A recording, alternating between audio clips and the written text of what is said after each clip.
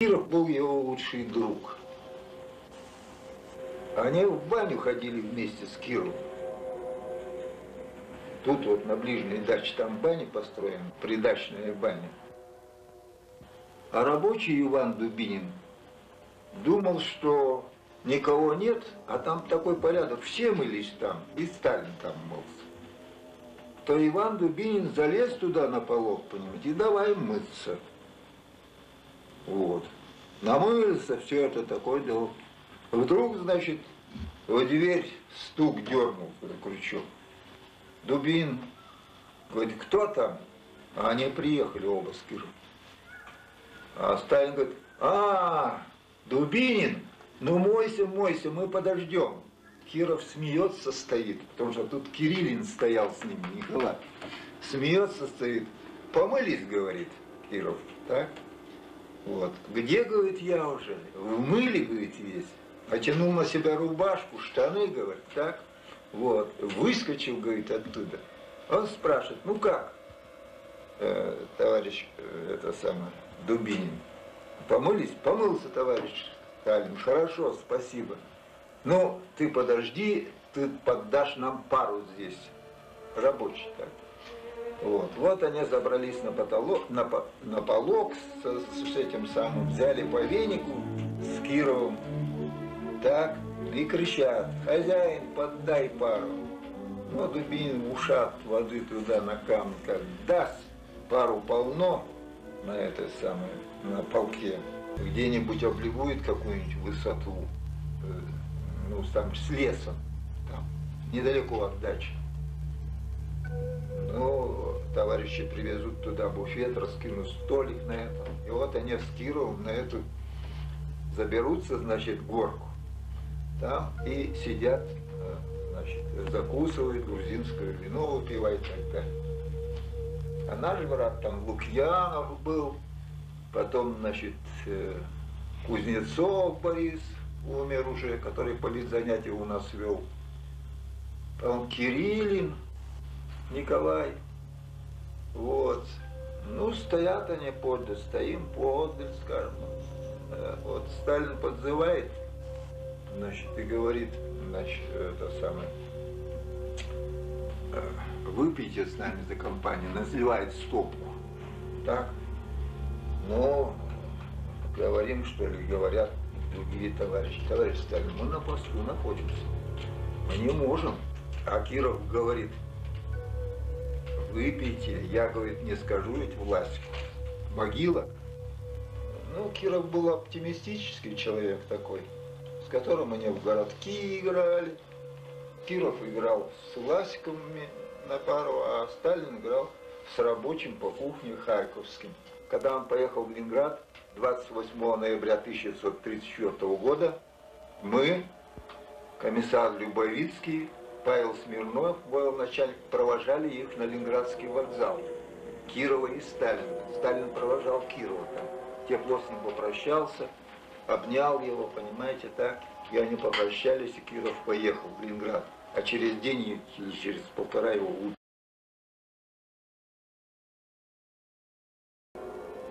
Но у него ноги болели.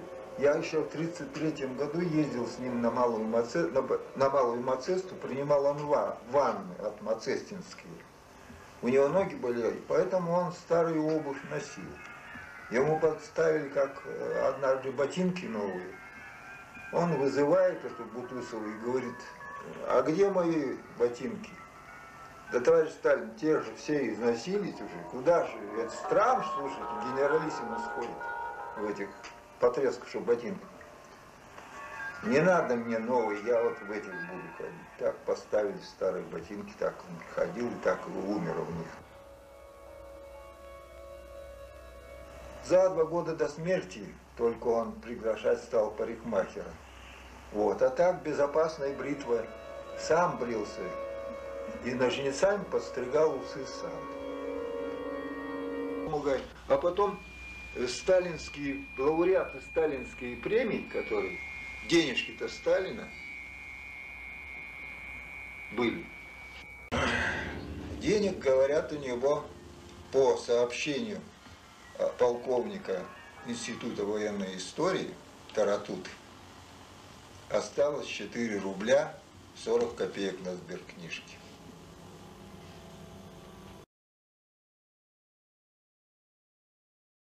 Рижском шоссе шел дождик. Ехали мимо автобусной остановки. Народу много, стоит и мокнут там. Ну, кто с чемоданом, кто с мешком, кто с чем. О.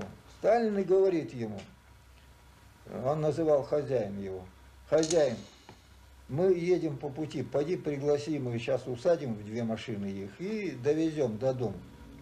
Вот. Остановил машину. Я, говорит, пошел и говорю, товарищи, товарищ Сталин вас приглашает к себе в машину, поскольку мы едем по пути, мы вас довезем. Ну, те, конечно, посмотрели, говорит, на меня как на чокнутого, так? И ни один не сдвинулся с места. Так? Как это Сталина приглашает, значит? Прихожу, говорю, товарищ Сталин, да они не идут никто. Он говорит, не умеете приглашать на народ, не умеете с народом разговаривать. Вылезает из машины, сам пошел к очереди. Смотрю, говорит, серую вереницу ведет этих людей, говорит, кто, говорит, с чемоданом, кто, говорит, с мешком, кто, говорит, с помолом, понимаете, и так далее. Всех усадил в машину. Так, и во вторую машину усадили. И вот, значит, первую партию отвезли, а там еще осталось. Так, всех-то невозможно в его машину заплатить. Пока вернулись за второй-то партией, и он ехал-то за второй партией тоже. А там, понимаешь, тысяча людей, сотни людей собралось. Узнали, что Сталин возит на машине по пути. Ну, мы, говорит, что? Говорим ему, товарищ Сталин, у нас бензин кончился. Так объяснить надо народу.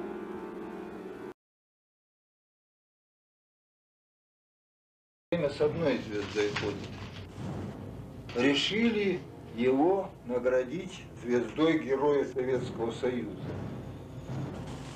Ворошилов там же издали указ, это все заочно, не говоря ему ничего. Вот.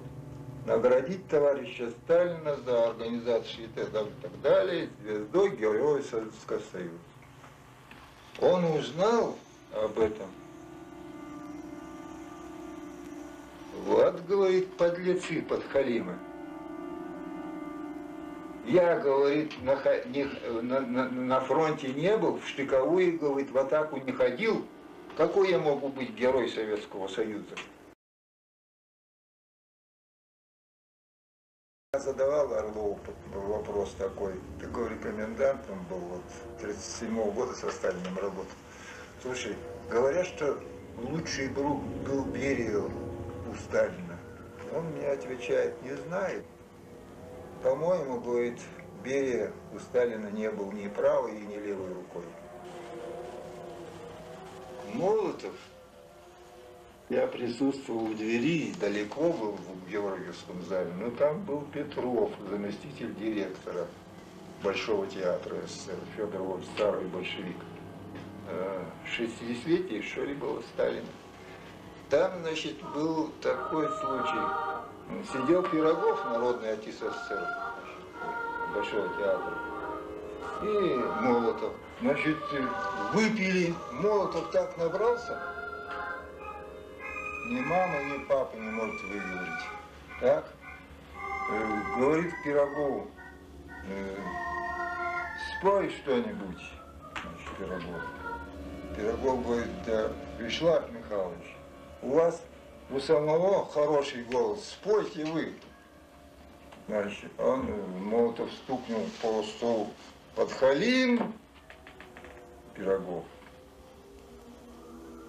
Словом, под ручки взяли Молотова и вывели из зала, еле стоявшего на ногах. После этого Сталин выступил с микрофоном и говорит, нам, большевикам, не следует упиваться и напиваться.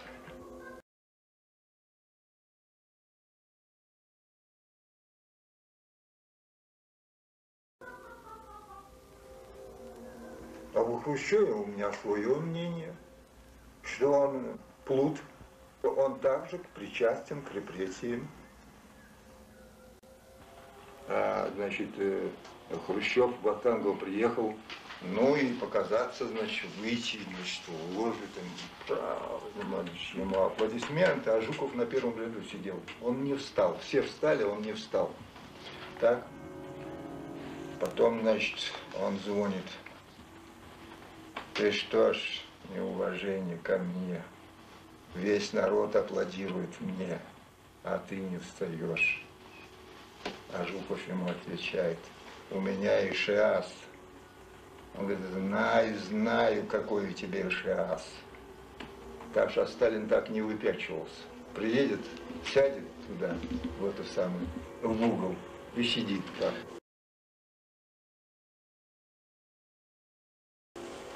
Парад победы должен быть. Ему Хрулев, начальник тыла, приготовил три формы генералиссимуса. Шелковая подкладка красная, накидка там шелковая, ну, в общем, так, как павлин все равно. И Хрулев снарядил трех молодцов атлетического телосложения военных и одел на них генералиссимусские формы, это значит, и со всеми аксервантами там и так далее. Вот, и привел их показать Сталину этих форм. Значит, приемную там в Кремле. Вот. Сталин вышел, значит, говорит, это что такое? А Крулев говорит, товарищ Сталин, вот э, форма генералиссимусов, которые на парад вам, так? Которая вам понравится, значит, ту вы, пожалуйста, одевайте.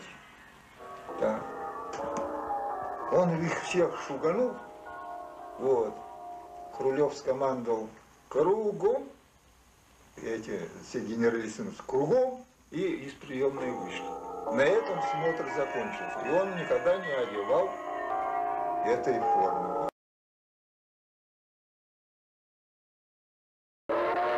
Жданов умер.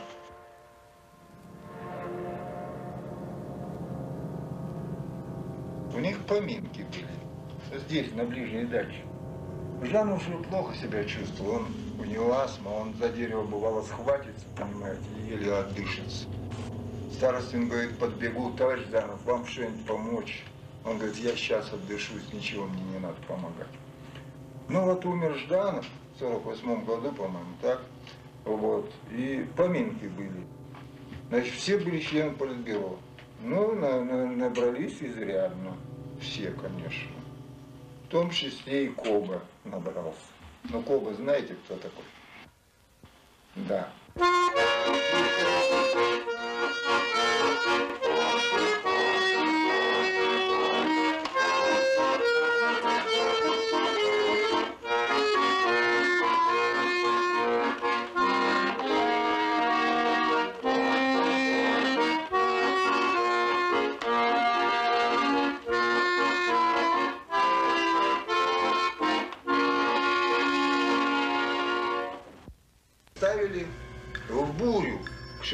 60-летию постановку Хренниковой в Станиславском в театр.